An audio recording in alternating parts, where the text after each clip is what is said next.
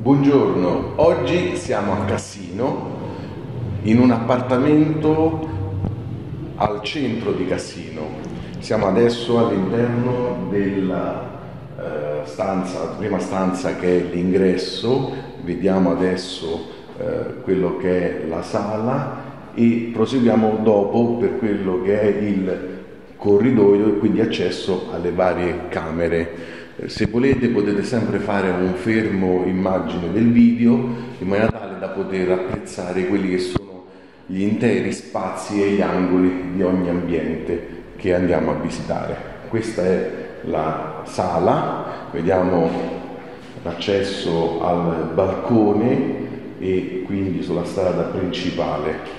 Vediamo che è composta da eh, un ampio spazio da cui si accede da due porte, la porta all'ingresso e la porta diretta alla zona del corridoio e quindi a tutto quello che è la zona notte. Vediamo adesso la cucina che ha anche l'angolo già predisposto per i mobili e quindi apprezziamo pure quello che è il balconcino di collegamento alla zona esterna e alla vegetazione che c'è fuori rispetto alla, uh, allo sfogo che serve appunto a una cucina, ritorniamo sul corridoio e ci spostiamo nella zona, per così dire, zona notte. E vediamo che sono una, due, tre, tre camere da letto, c'è uno sgabuzzino che è sempre importante e ci sono due bagnetti. Accediamo adesso alla prima in sequenza camera da letto, vediamo sempre gli infissi in legno e eh,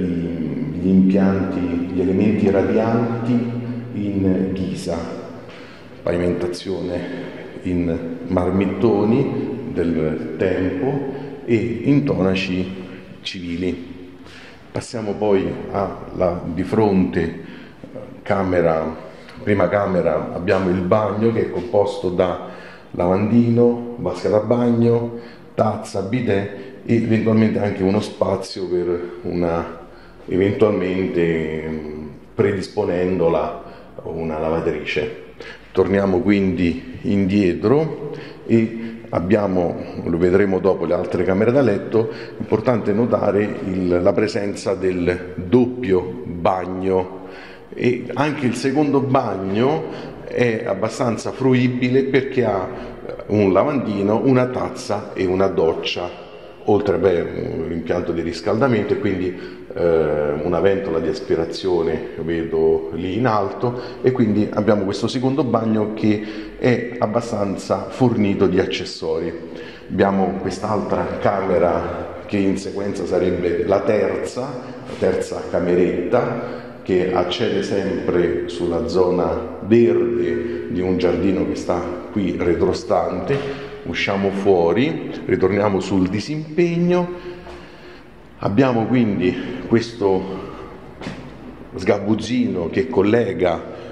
la parte terminale del corridoio, quindi all'antipodi, agli antipodi della, dell'ingresso e abbiamo anche la seconda camera da letto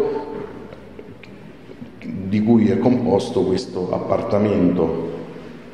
io vi consiglio sempre di guardare tutti i video della playlist che sono all'interno del canale anche YouTube eh, dal quale stiamo anche trasmettendo. Quindi per riepilogare abbiamo un ampio ingresso,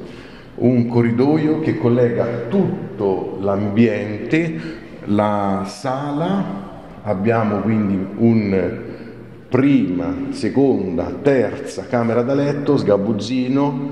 un disimpegno dal quale possiamo fruire del secondo e quindi anche del primo bagno e vicino all'ingresso, ben collegato con la sala, vediamo anche la cucina e lo spazio di luce che attraversa dagli entrambi i lati quella che è la um, tutta la luce e la luminosità e la ventilazione che collega la sala con la cucina. Da Cassino,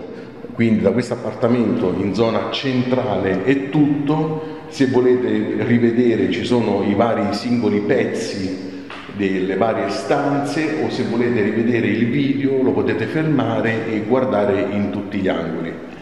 Io vi ringrazio per l'attenzione, vi auguro buona giornata. Ciao!